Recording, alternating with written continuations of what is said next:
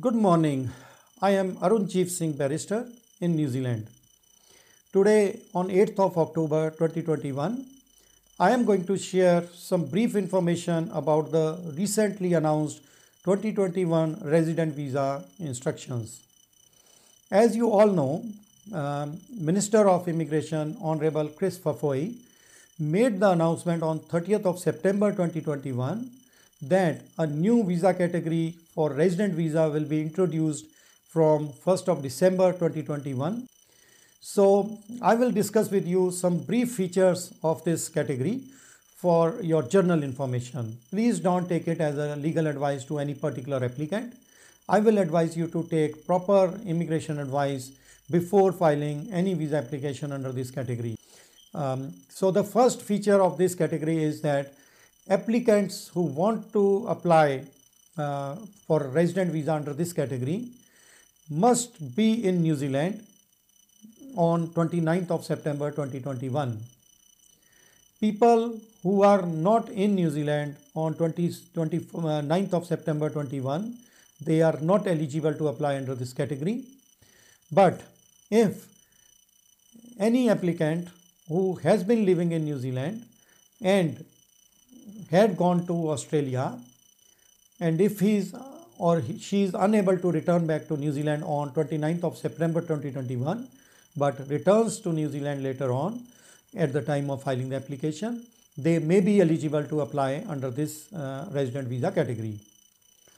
Second feature is the applicant who wants to apply under this category holding uh, post-study work visa or essential skills work visa or um, work to residence work visa or religious worker work visa or uh, migrant exploitation protection work visa or practical experience silver ferns work visa or work visa granted under victims of domestic violence category and um, then work visa granted under section 61 provided the applicant holding a work visa under section 61 must be holding an eligible visa 6 months before the grant of uh, this work visa under section 61 there are couple of more categories where the applicant um, if the applicant holds that category of visa work visa they may be eligible to apply for a resident visa. So there are 15 categories of work visas which are declared as eligible work visas to apply for the resident visa and meets either of the three qualifications, either of the three. So I'm just focusing or uh, putting stress on the either of the three categories. Then if an applicant meets the health and character requirements, they may be eligible to apply for resident visa. So what are these three qualifications? First qualification is that the applicant must have spent 3 years or 821 days in New Zealand between the period 29th of September 2018 to 29th of September 2021 either 821 days or 3 years. If they don't meet that requirement then they can look at the second qualification.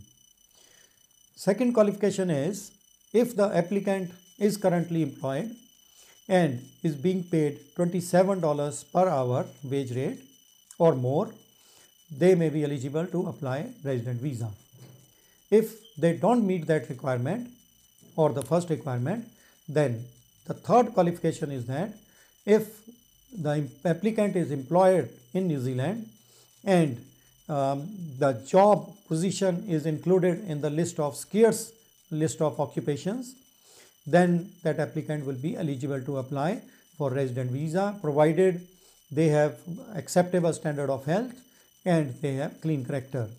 That if a principal applicant wants to file a resident visa under this category and if they have a spouse or partner or dependent children whether living with them in New Zealand or living offshore. Still, they may be able to include those um, partner or spouses or dependent children in the resident visa application as a secondary applicant. But the secondary applicant must prove the minimum requirement for recognition of partnership. So if a person under partnership category wants to uh, get a resident visa, they must prove that their relationship with the sponsoring partner is genuine, stable and enduring and it mu they must be living together for 12 months or more and they must prove that their relationship is stable. So if the secondary applicant meets that requirement, they may be uh, eligible to be considered along with the principal applicant. But this category has some uh, flaws, I would say. The first difficulty in this category is there is no age limit prescribed for the applicants. Any applicant between the age of uh, 18 until any age, there is no uh, maximum age limit. So if a person is 100 years old, he may be eligible. If a person is 18 years old, he may be eligible. There must be some age limit or some uh, prescribed age for the applicants to apply for this resident visa. Second flaw is any person who is even unemployed in New Zealand, have never been employed in New Zealand, they may be able to gain resident visa uh, if they have spent 3 years or 821 days in New Zealand. Thirdly, there is no requirement for the applicants to prove that they have uh, English language competency. So any person who does not know English even basics in the uh, English and they are unable to communicate in English language in New Zealand, if they are granted resident visa, they would face extreme hardship in communication, in settlement or in doing any employment. So New Zealand has English as a first language of communication and any applicant for the resident visa must have at least minimum the basic uh, elementary or kind of little knowledge of English and they may be able to make their life sustainable in New Zealand.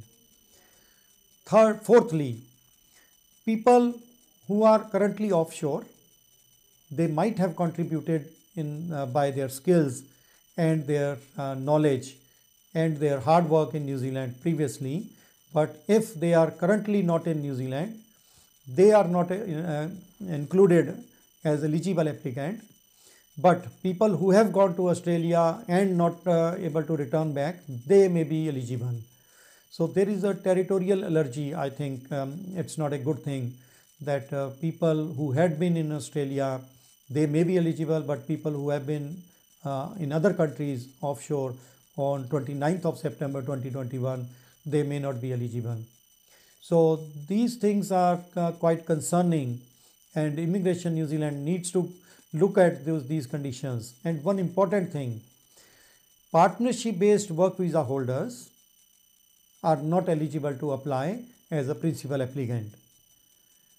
So all other categories of work visas are eligible to apply for resident visa under this category. But partnership based work visa holders they can't apply as a principal applicant. They can be included as a secondary applicant in a principal uh, in a application where principal applicant intends to or consents to include them as the secondary partner. So that is also very concerning that why one category of work visa holder has been left aside. All other categories of work visa holders are eligible even visitor visas of critical purpose work visa with more than 6 months of visa who are in New Zealand, they are eligible to apply for resident visa under this category.